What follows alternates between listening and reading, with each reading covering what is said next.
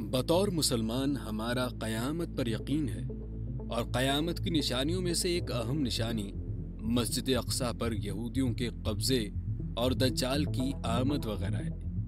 आज हम इसी सिलसिले की एक और निशानी का आपसे ज़िक्र करते हैं। असलकुम दोस्तों, वेलकम टू माई चैनल। नाजरीन, बचपन में सुना था कि सेहूनी एक सुर्ख गाय के पैदा होने का इंतज़ार कर रही हैं। ताकि उसे यूरूशलम में जबल जैतून पर कुर्बान करके जलाया जाए। इसके बाद मस्जिद अक्सा और सुनहरा गुंबद शहीद करके हैकिल सुलेमानी की तामीर होगी। बज़ाहिर लगता था कि वो वक्त बहुत दूर है।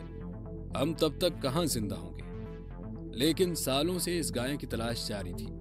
और आपने अगर सूरह बकरा में गाय का किस्सा पढ़ा हो तो आप जानते होंगे कि जिस गाय के कुर्बान करने का बनी इसराइल को हुक्म दिया गया था, उसकी खसूसियात क्या थीं? अब भी इसी खसूसियात की गाय की तलाश हो रही थी।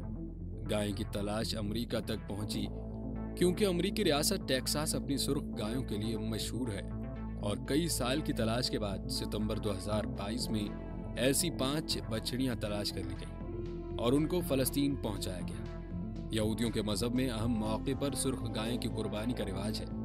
हज़रत मूसा ने पहली दफ़ा सुर्ख गाय कुर्बान की थी और अब तक नौ गायें कुर्बान हो चुकी हैं।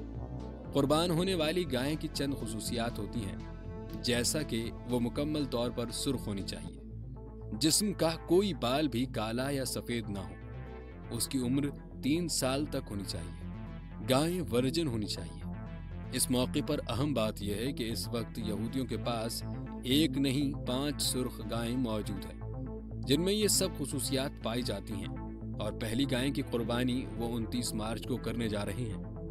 इसके बाद आखिरी रमज़ान के दिन वो अपने मसीह यानी दज्जाल को दुनिया में बुलाने के लिए एक दाइया तकरीब रखेंगे। एन उसी दिन सूरज ग्रहण भी होगा और ऐसा सूरज ग्रहण तकरीबन 375 साल बाद होगा। सुरख गाय की कुर्बानी और उसकी राख से रूहानी निजात दूर करने के अमल के बाद यहूदियों का प्लान मस्जिद अक्सा पर कब्जा और फलस्तीन में तीसरे मंदिर का कयाम है। जो कि उनके मजहबी अकायद और दज्जाल की आमद का पहला कदम है।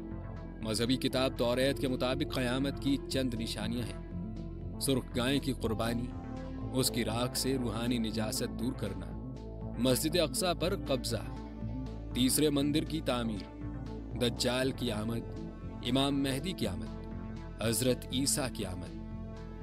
नाजरीन, फ़लस्तीन के मौजूदा हालात यहूदियों के कब्ज़े और उनके पास मौजूदा सुर्ख गाय के आसार बतलाते हैं कि शायद दुनिया आखिरी मराहल की तरफ़ बढ़ रही है।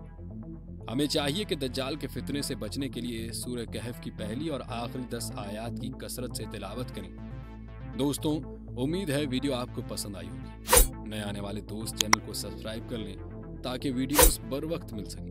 मिलते हैं जल्द ही नई वीडियो के साथ। तब तक के लिए अल्लाह ने